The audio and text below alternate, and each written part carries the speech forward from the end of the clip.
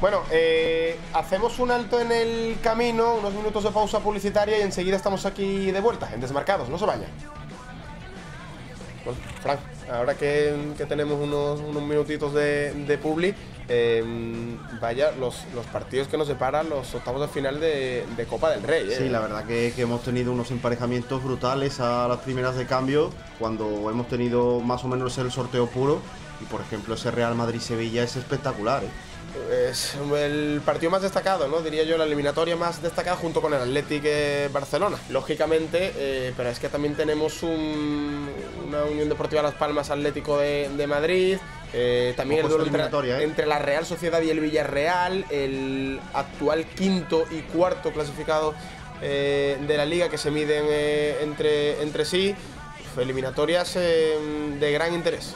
Fíjate que yo, por ejemplo, en el partido del Real Madrid-Sevilla me quedaría con el empate. Se paga bastante bien. Ahora mismo el Real Madrid está en una situación invicto, pero creo que el Sevilla también Seguiría, llega. ¿no? Con su Sí. racha de partidos consecutivos sin, sin perder, con Tre- ese, con ese empate. 37 acumula ya, ¿eh? El equipo de Zidane.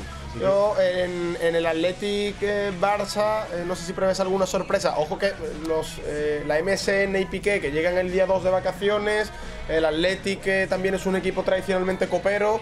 Oye, yo no descarté una victoria del Athletic en la ida. ¿eh? Solo van a tener tres días de entrenamiento la MSN y Gerard Piqué, así que habrá que estar atentos porque desde luego eh, a mí me parece que puede saltar la sorpresa. Ya lo hablamos en su día con el sorteo copero, pero bueno, yo en este me quedo con el 2.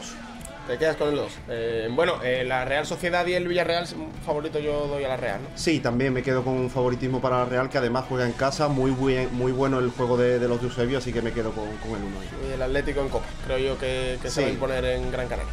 Tiene muy buen equipo Las Palmas, llegan en muy buen momento, pero creo que el Atlético está a un nivel por encima. Bueno, pues veremos qué, qué pasa. Vamos a meterle ¿no? dinerito. Venga, venga. perfecto.